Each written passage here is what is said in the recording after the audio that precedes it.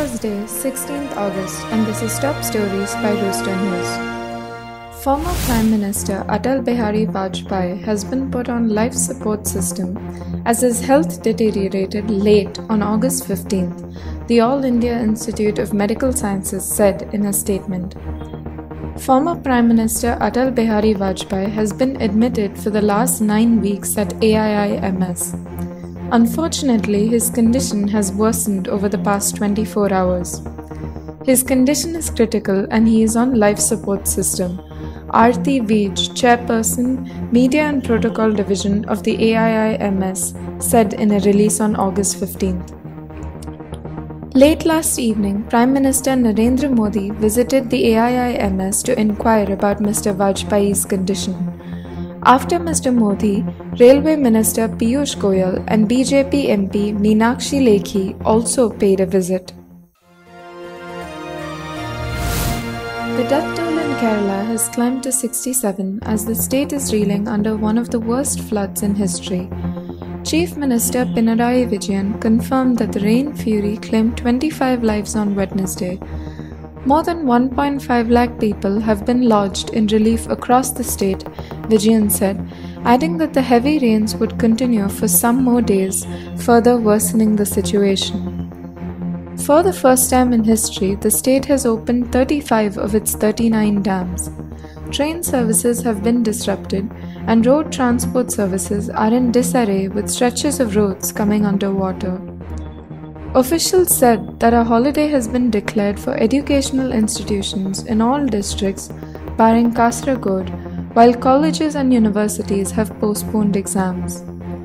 As the situation became grave, the state government sought the help of more teams of Army personnel, National Disaster Response Force, and Army Engineering. Prime Minister Modi has asked the Defence Ministry to further step up relief and rescue operations across the state. Gaganyaan, the human spaceflight program, green flagged and set for 2022 by Prime Minister Narendra Modi, is highly doable, Chairman of the Indian Space Research Organization K. Sivan said. V. R. Lalitambika, a specialist in advanced launcher technologies, will helm the project as director of the Human Spaceflight Project.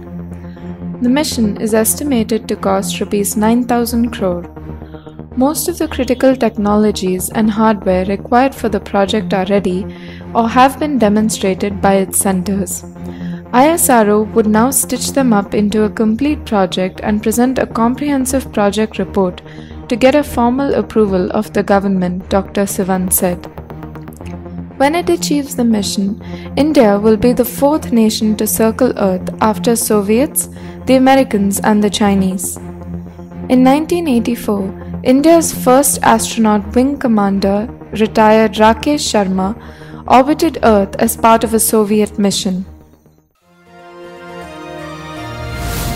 A priceless 12th century bronze Buddha statue that was stolen from Bihar 57 years ago has been returned by British police to the Indian High Commission in London.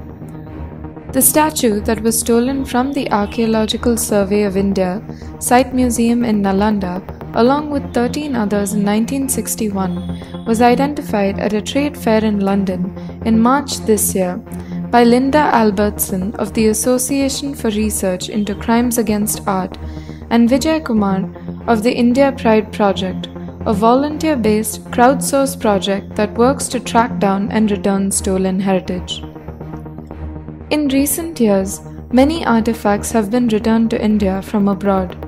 In 2016, over 200 stolen artifacts were returned by the US during Prime Minister Narendra Modi's visit.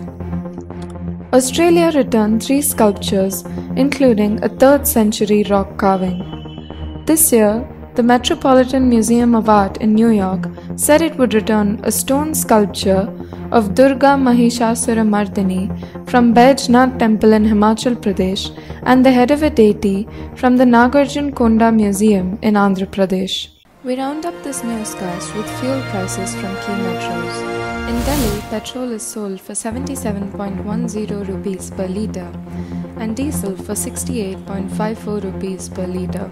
In Chennai, petrol is sold for 80.09 rupees per litre and diesel for 72.39 rupees per litre. In Kolkata, petrol is sold for 80.04 rupees per litre and diesel for 71.35 rupees per litre. In Mumbai, petrol is sold for 84.54 rupees per litre and diesel for 72.76 rupees per litre.